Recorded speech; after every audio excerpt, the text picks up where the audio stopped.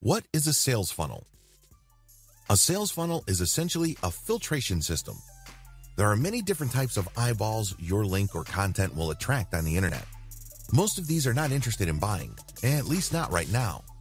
Your sales funnel helps you process all these people to maximize the amount of dollars you can get out of them. Most sales filters are not set up the right way. A lot of marketers fail because they think they have a sales funnel.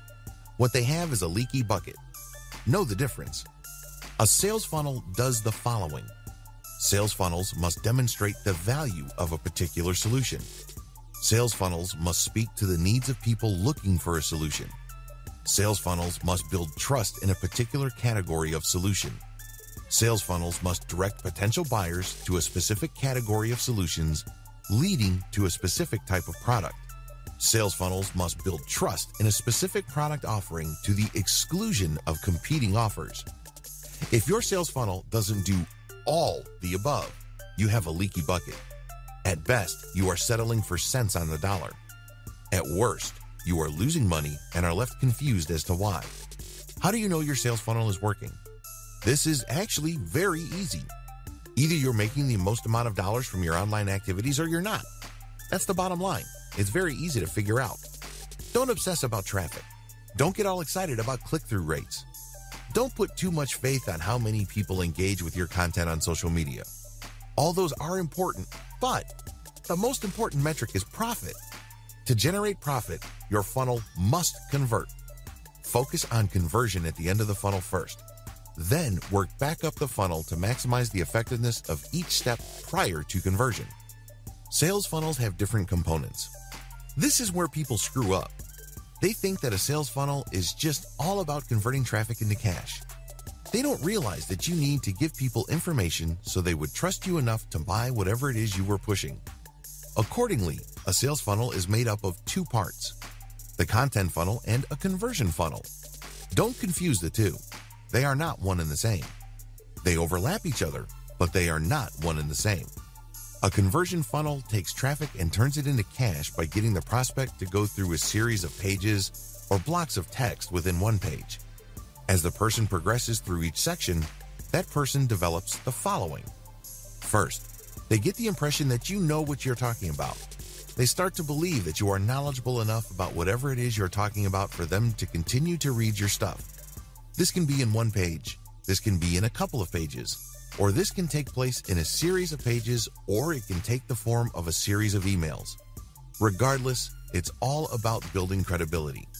An effective conversion funnel sets things up in such a way that the more your prospect reads your stuff, the more they believe you. This ultimately creates enough trust for your prospect to do what you want them to do. This can take different forms. You can ask them to fill out a form, and when they fill out the form, you get paid by a sponsor.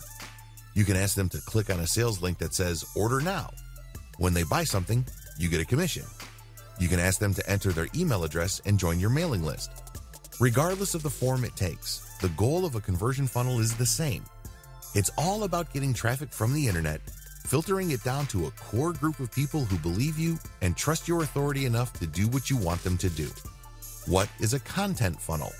A content funnel is a series of blog posts, articles, and pages both on your site and on third party websites that step visitors through different stages of trust. At first, you get them to understand and believe that you are credible when it comes to a specific body of knowledge. For example, if people are looking for tips on how to deworm their dogs, your content funnel would start with material that answers basic questions regarding the deworming process.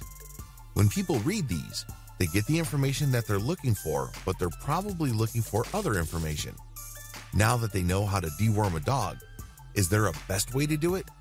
Is there a product that makes it as quick, painless, and convenient as possible? Your content funnel takes care of all these questions, but it all does it in the context of building greater and greater trust in your authority. It starts with establishing in the minds of the reader that you are knowledgeable and credible enough about the basic questions that they're asking. If they like what they read and they still have other questions regarding which solution is the best, they can click the link and then you would lead them through your comparison of the different types of solutions out there. Again, these are not necessarily individual products. These can be just different ways to purge your dog. You can compare the different ways of purging your dog. There's a 100% organic way, and then there are the traditional chemical ways, so on and so forth. You compare these then to highlight to the reader that you can be trusted because you know enough to be able to compare, and then you suggest a specific solution, and then when they click through to that, they end up in a trust page. This is where basically you earn their trust by spelling out, usually in the form of an in depth report or a review of the pros and cons of a specific product or solution. From here, you can then convert them. You can link them to a conversion funnel, or you can get them to sign up to a mailing list.